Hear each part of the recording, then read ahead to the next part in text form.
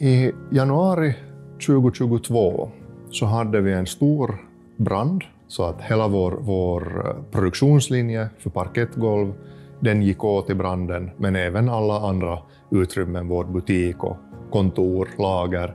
Väldigt stora mängder produkter som förstördes, både våra egna och även kunders golv som vi hade lagrat för kundens räkning här i, i Vasa. Vi hade ju tack och lov en avbrottsförsäkring och den var nog avgörande för företagets framtid. Man har ju alltid drömmar och visioner som man inte kanske hinner göra, men sen då en sån här sak händer, så det lilla positiva är ju att då får man ju i alla fall tid att faktiskt planera och, och optimera sådana saker som man har drömt om. Och det har vi också gjort. Plus att vi också har investerat mycket i vår produktion.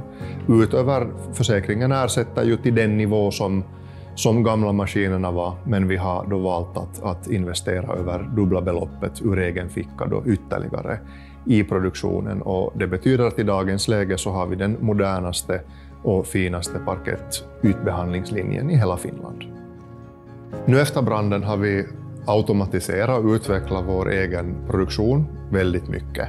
Men fast vi idag använder oss av robotar och annan högteknologi så är, är nog det mänskliga ögat och den mänskliga beröringen fortfarande oerhört viktig.